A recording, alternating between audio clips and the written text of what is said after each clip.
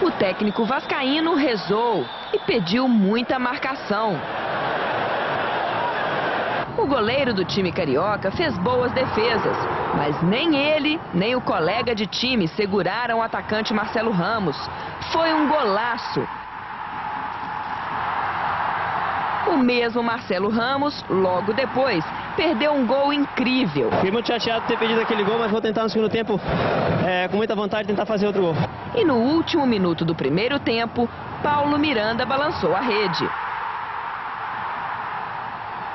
A torcida vascaína, que antes fazia barulho, ficou quieta. Os jogadores saíram em silêncio. O que está faltando? Foi não. O que está faltando aí para recuperar?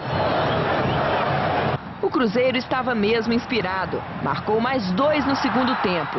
Fábio Júnior fez o dele. Outro golaço. O goleiro Fábio tentou evitar o quarto gol, mas ele veio com Alessandro. Essa comemoração que o pessoal gosta.